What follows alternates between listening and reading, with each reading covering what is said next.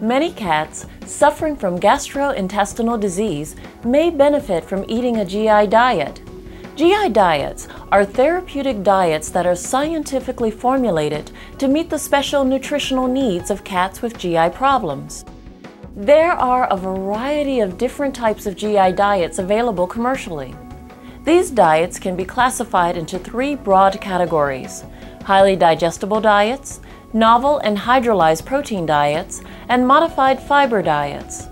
If your cat is suffering from a GI illness, your veterinarian may recommend a therapeutic diet to help address your cat's underlying medical problem. To understand how these diets work, let's take a closer look at how they're formulated. Highly digestible diets are formulated utilizing highly digestible ingredients. These ingredients are designed to enhance nutrient absorption, helping to counteract the effects of intestinal damage present in many GI disorders. GI diets may also provide increased levels of dietary protein.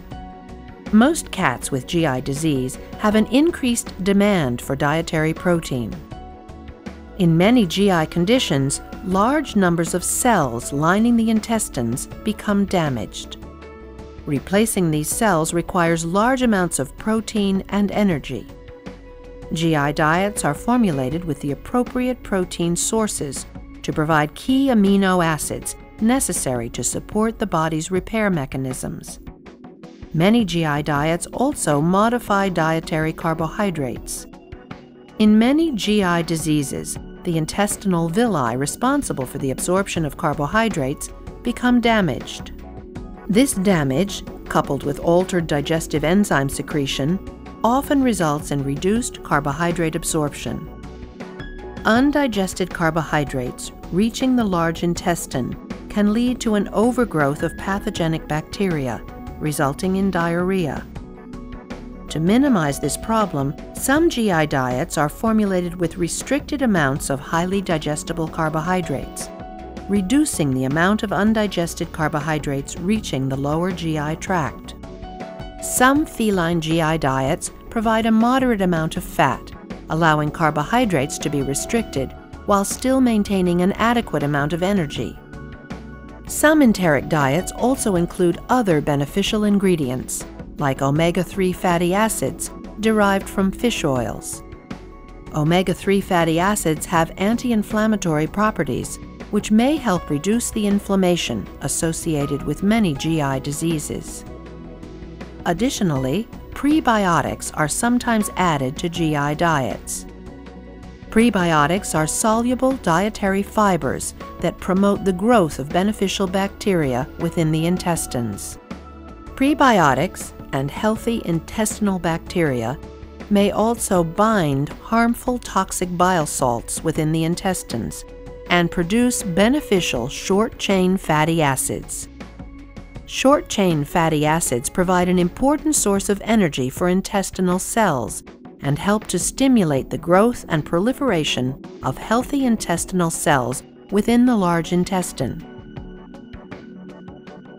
Highly digestible diets are commonly used to help manage a variety of upper GI disorders, including diseases associated with vomiting and small intestinal diarrhea. Novel and hydrolyzed protein diets are a special category of GI diets. These diets also utilize highly digestible ingredients, but in addition, they provide very specialized forms of dietary protein. In some cases, your veterinarian may recommend a hydrolyzed protein diet. These diets are manufactured by breaking down dietary proteins into very small molecular fragments, reducing their potential to trigger an allergic reaction caused by a hypersensitivity to the food. Novel protein diets are made from a single source of protein. So when we use a novel protein diet, we like to use a source for the cat that the cat has probably not seen before, something like venison, occasionally rabbit, duck, things that are not traditionally in pet foods. Novel protein diets are commonly used to diagnose and treat cats with conditions associated with food hypersensitivities. Modified fiber diets are a special category of GI diet, characterized by increased levels of insoluble and soluble fiber. Insoluble fiber cannot be digested by the cat, but once in the colon, helps to give solid form to the feces of cats with diarrhea. Soluble fiber promotes the production of short-chain fatty acids, which nourish the damaged cells of the colon. Fiber also contributes to a lowering of the pH in the colon, which can inhibit pathogenic bacteria. Modified fiber diets are sometimes used to treat certain types of diseases affecting the colon.